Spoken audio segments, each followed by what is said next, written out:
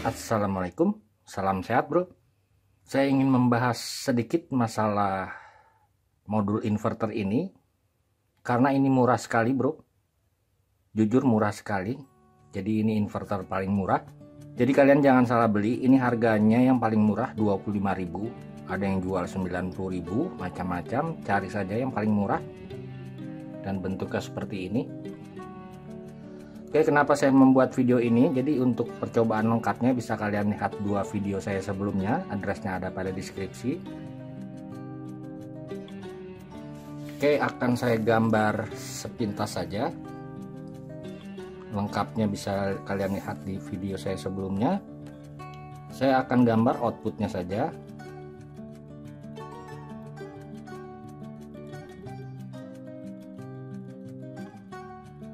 Oke ini trafonya kalian lihat. Ada tiga buah lilitan di inputnya atau primer kemudian ini sekundernya.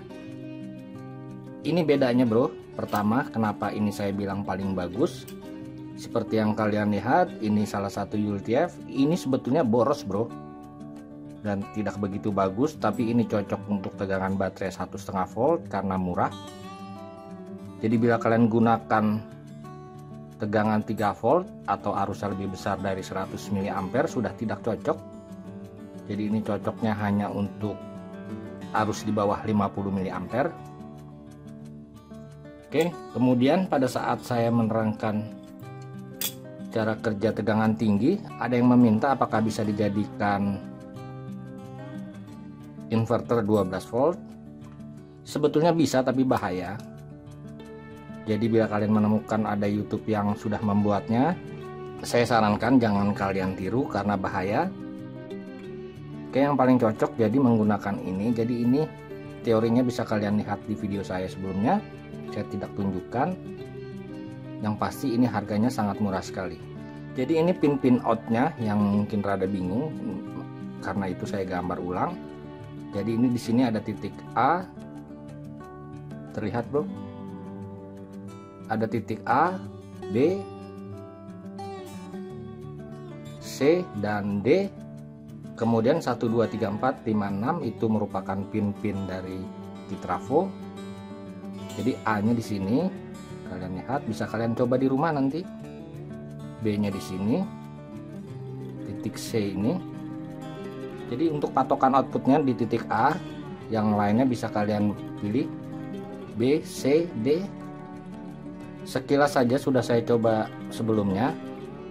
Untuk out di titik A dan D ini khusus bila inputnya 12 volt dan outputnya 220 volt.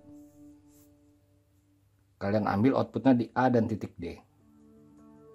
Paham ya bro? Kalian lihat saja di video sebelumnya.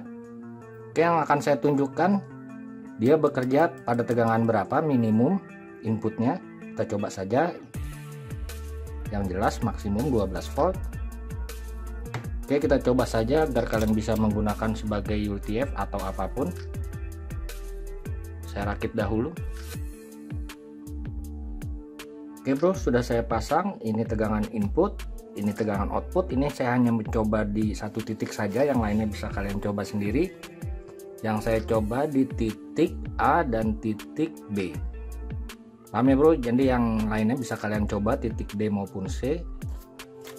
Kalian lihat inputnya outputnya input masih nol. Saya naikkan perlahan kalian perhatikan outputnya. Oh ya satu lagi sebelum saya lupa. Jadi kenapa modul ini murah? Kalian lihat kita bisa ambil titik AC nya titik DC nya sudah ada semua. Saya buat coba di setengah volt oke kalian lihat tegangan setengah volt outputnya sudah 7 volt mantap bukan sekarang saya coba satu setengah volt saya naikkan Oke, anggap saja sudah satu setengah volt. Kalian lihat outputnya sudah 25 volt. Kemudian saya coba 3 volt. Kalian lihat sudah 3 volt outputnya 51 volt. Tentunya ini lampu sudah tentunya lampu bulb sudah dapat menyala jadi sangat mantap bila digunakan sebagai ULTF rame bro. Satu setengah volt sudah bisa. Saya coba 5 volt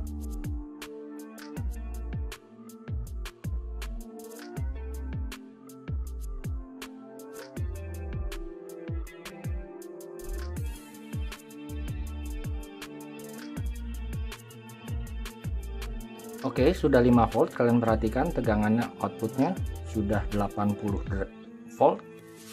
Mantap bukan? Oke bro untuk aplikasinya terserah kalian.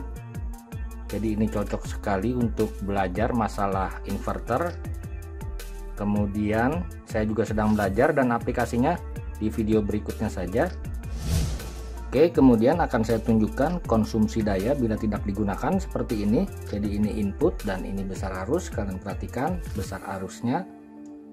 Bila modul ini tidak digunakan pada tegangan 5 konsumsi dayanya sekitar 270 mA paham ya bro? Kalian bisa hitung pemakaian dayanya tegangan dikali arus tanpa beban tentunya Oke, terima kasih telah berkunjung. Salam sehat. Wassalamualaikum warahmatullahi wabarakatuh.